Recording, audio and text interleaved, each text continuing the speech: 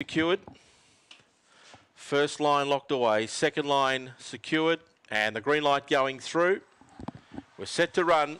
Sports vote count, grade five, final leg of the quaddy. Good luck. Here we go.